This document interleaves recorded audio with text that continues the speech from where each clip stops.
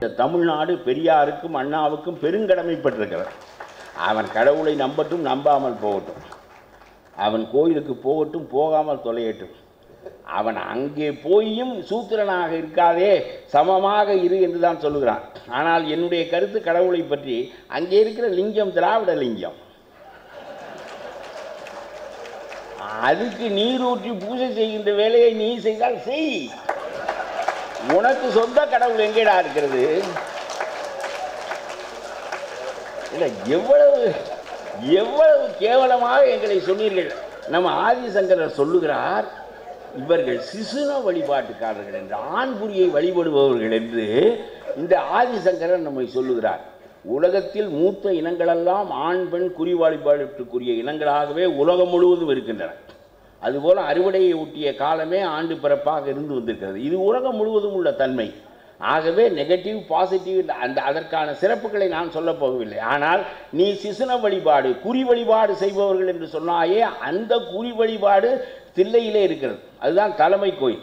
அதனுடைய கோயில் நாங்கள் கட்டிய கோயில் சோழர்கள் கட்டிய கோயில் அது எங்களுடைய கடவுள். நாங்கள் தான் சிசுனத்தை வழிபடுபவர்கள். நீ எதுக்கு அதை குளிப்பாட்ட வருகிறாய்? எங்கள்கிட்ட விட்டு விட்டு போக வேண்டியதானே? நாங்கள் பண்ணி கொடுக்குறோம் இந்த வேலையை. கடவுள் எங்கள் கடவுள் கருத்து எங்கள் கருத்து அதற்குள் செய்கிறவன் நீ என்றால் உன்னுடைய மதம் எங்களால் உறிஞ்சப்பட்டு விட்டது. நான் சொல்கிறேன் அக்னியை வழிபடுகின்றவன் நீ. தீயினை கும்பிடும் பார்ப்பார் என்றுதான் பாரதி பேசுகிறான். தீ உன்னுடைய கடவுள் லிங்கம் எங்களுடைய கடவுள். எங்களுடைய கடவுளை எங்களிடம் விடு. நாங்கள் பால் ஊற்றுவோம் மோர் ஊற்றுவோம் பன்னீர் ஊற்றுவோம் எல்லாம் செய்வோம். நாங்கள் போய் அந்த கருவறைக்குள் உட்கார்ந்து கொண்டு செய்வோம். அர்ச்சகர் ஆகலாம் என்று கலைஞர் சட்டம் போட்டார்.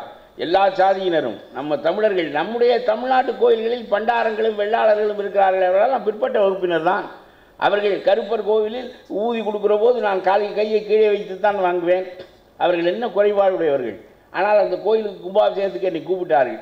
நான் சொன்னேன் நான் கும்பாபிஷேகத்தை வடமொழியிலே செய்து கொண்டிருந்தான். அந்த பூசாரி தலைமை பூசாரி உட்கார்ந்துருந்தார். பெரிய கவுடெல்லாம் போட்டு உட்காந்துருப்பார் அவர் பேரில் கருப்பர் வருவார் என்பதுதான் மக்களுக்கு அச்சம். உட்கார்ந்திருந்தார். பெரிய பெரிய மனிதர்களெல்லாம் உட்கார்ந்துருந்தார்கள். அங்கே அப்பொழுது பேசினேன் நம்ம கருப்பர் அதில் பேர் தான் எனக்கு எங்கள் தாயாரை வைத்தார்கள். அது இருக்கட்டும். அந்த கருப்பர் நம்ம கருப்பர். இந்த கருப்பருக்கு குடநீராட்டு விழா நடத்துகிறீர்கள். அதில் எதுக்குடா நீங்கள் சமஸ்கிருதம் ஓதுறிய உனக்கும் சமஸ்கிருதம் தெரியாது கருப்பருக்கும் தெரியாதுன்னு. எல்லா பெரிய மனிதர்களும் அங்கே ரொம்ப வீடியாவும் அவங்கெல்லாம் இருந்தாங்க. பெரிய ஆட்கள் அவங்கெல்லாம் நகரத்தரில். அவங்க சொன்னாங்க ஏன்பா நீ என்னப்பா என்ன பேசுவா இன்னும் உன்னை கொண்டாந்து விட்டுட்டா நீ நோக்கத்துக்கு பேசுகிறாப்பா ஏப்பா நீ பூசாரிக்கு தெரியாதுன்னு சொன்னது சரி. கருப்பருக்கு தெரியாதுன்னு சொல்லக்கூடாதுப்பா நான் சொன்னேன் கருப்பர் நம்ம சாமி தானே நம்ம சாப்பிட்றது அவர் சாப்பிட்றாரு ஆடை வெட்டி சாப்பிட்றாரு அப்புறம் நமக்கு தெரிஞ்சது தான் அவருக்கு தெரியும். விடு சமஸ்கிருதம் நமக்குரிய மொழி இல்லை. அவர் கொஞ்ச காலம் இந்தி சலம்பியது. அதற்கு பிறகு அவனே பொழுது இந்தி படிப்பதில்லை.